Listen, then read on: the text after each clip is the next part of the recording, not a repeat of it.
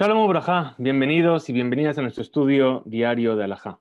Hoy día 31 de diciembre, día 16 del mes de Tibet, vamos a seguir con nuestro estudio y vamos a pensar sobre un punto. La mitad de nuestra vida aproximadamente la pasamos durmiendo. Eh, si lo miramos a primera vista, nos podría parecer una pérdida de tiempo, ¿no? O sea, la mitad del tiempo de nuestra vida estamos durmiendo, ¿no? ¿Qué, ¿Cuántas cosas podríamos hacer con todo ese tiempo? Sin embargo, eh, en realidad toda la vida de la persona depende de ese momento de sueño. Por ejemplo, tomamos el ejemplo de un teléfono. Bien, el teléfono necesita cargarse en la electricidad, en la corriente eléctrica para poder funcionar correctamente. Si yo no lo cargo y lo hago, yo no lo enchufo y lo hago cargar, entonces el teléfono puede estar en perfecto estado, pero no va a funcionar. De la misma manera, nosotros también necesitamos un tiempo para recargar nuestro cuerpo y nuestra neshama. Hay algunas cosas que tenemos que, a las cuales tenemos que prestar atención y en el momento del sueño. Algunas eh, desde el punto de vista físico y algunas desde el punto de vista espiritual.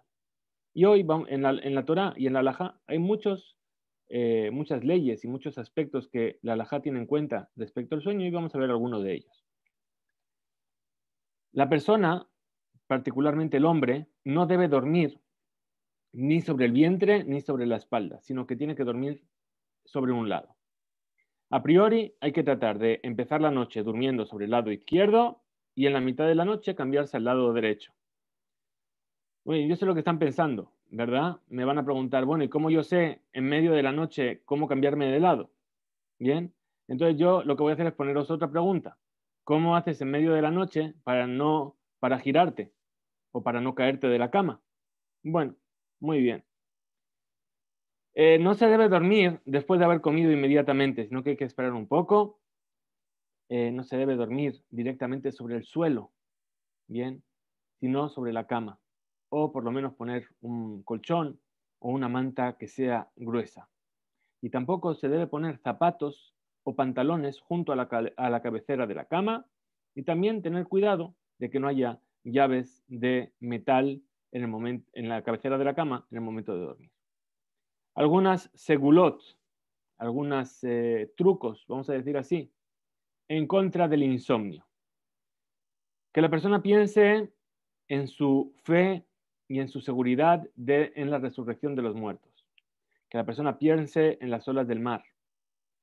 Recitar versículos como por ejemplo, Torat Zibalanu Moshe, Morashak y Ilad Yaakov, o Or Zarua Tzadik, Ulishrelev Simcha, comer eh, tomates rojos, o echarse unas gotitas de aceite de almendras frío en la nariz. Bien, también a veces la Alajá nos trae este tipo de consejos, ¿sí? que están basados, por supuesto, en el conocimiento profundo del mundo de nuestros sabios. Hasta aquí llegamos en nuestro estudio de hoy. Nos veremos mañana, Bedratasha.